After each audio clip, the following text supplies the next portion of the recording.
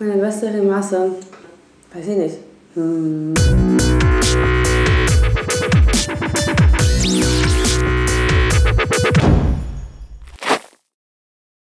Auf Knopfdruck ist es echt ein bisschen schwierig. Geht ein Keks um die Ecke und ist weg? Ja, heißt, das ist kein Witz, das ist einfach nur bescheuert. Äh, oh Gott, ich kenne auch echt nur obszöne Witze, fällt mir gerade ein. Ich kenne ja nicht mal süße Witze. Oh Gott, nee, das kann ich ja nicht machen. Wo landet denn das Video am Ende? Genau, eine Frau war schwanger. Ja, nee. Schneiden. Schneiden. Eine arabische Frau kriegt Zwillinge. So, ähm, auf jeden Fall ist es dann so gewesen, dass die dann mit der Polizei praktisch, die haben sie dann da aufgegabelt, sie ist dann mit der, nein, nein, warum ist sie im Polizeiwagen gelandet?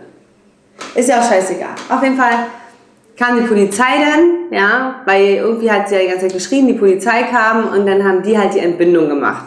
Daraufhin äh, kam der erste Zwilling und meinte dann, ey, nee, scheiße, wir können nicht vorne raus, wir müssen den Hinterausgang nehmen. Vorne stehen die Bullen oder so.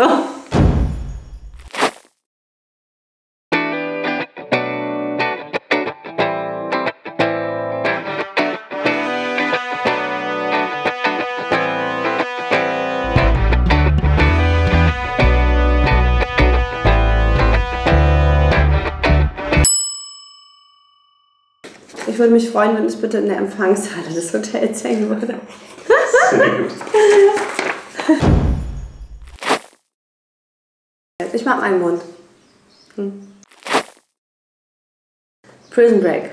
Weil ich die Handlung einfach voll spannend fand. Also war einfach so, weiß nicht, diese ganze Knastgeschichte, wie die da ausgebrochen sind und der war ja Statiker und allein wie er den Ausbruch geplant hat. Unabhängig davon war ich unglaublich in den Schauspieler verliebt damals.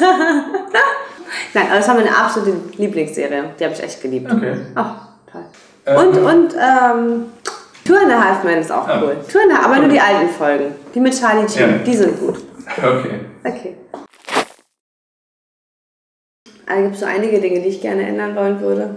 Angefangen vom Gesundheitssystem bis hin zu den, bis hin zu den Mieten, bis hin zu, äh, ach, weiß ich nicht, zu Einrichtungen. Ja, ich finde einfach, dass es auch viel, viel mehr Einrichtungen geben müsste für bedürftige Menschen, für Obdachlose, für Waisenkinder, für Flüchtlinge auch. Ja, es muss einfach, finde ich, viel mehr gegeben sein. Und derzeit ist die politische Lage ja echt ein bisschen schwierig. Und gerade dadurch, dass ich halt in Berlin lebe, ähm, habe ich das halt alles echt vor der Tür so direkt. Ne? Es ist echt ein Albtraum. Also es tut mir halt echt leid, ne? Weil jetzt geht's langsam ein bisschen, aber ich kann mich da an Tage erinnern, da kamen Busse vorgefahren und die Leute haben da echt Tage, Wochen lang auf der Straße geschlafen. Und das fand ich so traurig, ich mir dachte, es kann ja nicht sein, ne? Ich meine, ich bin total dafür, dass Menschen geholfen wird, gar keine Frage, ne? Aber es kann nicht sein, dass immer mehr anreist und am Ende aber die alle auf der Straße sitzen. Mhm. Ne? Und dass dann einfach keine, keine Einrichtungen mehr gegeben sind, die Unterkünfte nicht durchgeplant sind, die Organisation vorne und hinten nicht läuft. Ja, das bis dorthin, also das würde ich schon gerne ändern wollen. Mmh. Puh, das ist eine Frage jetzt. Ist gut. ich sag zu allen Ciao. Fernseh gucken, Gassi gehen, ähm, im Internet surfen. Das sind alles Sachen, die wahrscheinlich jeder macht. Ich muss es jetzt einfach nur aussprechen. Ich brauche jetzt auch nicht lügen und sagen, ach Mensch, ja, ich gehe dann ins Fitnessstudio oder ich gehe da weiß ich wohin oder in eine Bücherei. Nein, ich surfe im Internet, ich hänge an meinem Handy dran und ich gehe Gassi und gucke Fernsehen. Und das treffe ich mit meinen Freunden halt. Ne? Ich gehe auch voll gerne essen, aber ich koche nicht gerne. Ich bin Lisa, ich bin die Miss Berlin 2016. Ich würde mich tierisch darüber freuen, wenn ich einen Daumen hoch von euch kriegen würde. Ich möchte gerne die Krone nach Berlin holen. Ciao!